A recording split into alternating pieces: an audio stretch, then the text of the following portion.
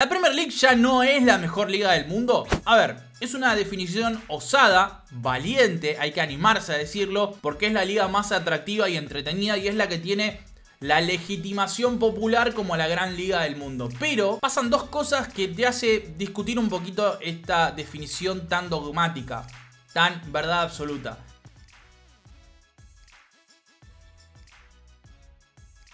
La primera es bastante predecible. Cinco de las últimas seis ligas fueron ganadas por Manchester City. Se podría sumar otra más. Y lo segundo, son bastante flojos a nivel internacional, al menos en esta temporada. En Champions League no hubo equipos ingleses en semifinales. Arsenal no pudo contra Bayern Múnich en cuartos de final. Y en ese mismo tope quedó Manchester City que perdió contra el Real Madrid. En Europa League pasó algo similar. No hubo equipos ingleses en semifinales, aunque Liverpool y West Ham estuvieron cerca porque quedaron en cuartos de final. En League fue donde más lejos llegó un inglés, y es el Aston Villa de Diego Martínez, que alcanzó semifinales, pero perdió sin atenuantes contra el Olympiacos, que jugará la final contra la Fiorentina, siendo extremadamente valorable porque Aston Villa fue el único inglés que jugó esa competencia. Pero alcanza esto para definir que no es la mejor liga del planeta, es la más espectacular, la que más show tiene, la que mejores futbolistas posee, la de los grandes millones, para poder invertir los mejores estadios y un prestigio al que muy pocas ligas alcanzaron en la historia. De hecho, este nivel de unanimidad tal vez solo fue alcanzado en los últimos tiempos, en la modernidad, por la Italia de los 80-90, con grandes estandartes como Diego Armando Maradona en el Napoli. Alguno dice que la presencia de la Bundesliga en las semifinales con Bayern Múnich y Borussia Dortmund, sumado esto a lo lejos que llegó el Bayern Leverkusen que está en la final de Europa League y además es posiblemente campeón invicto de la Bundesliga, algunos se animan a posicionarla más arriba, pero la realidad es que la liga es la competición de la regularidad. Es difícil valorar si una competencia es o no mejor en el campeonato de los detalles, como son los torneos de Conference, Europa League y Champions,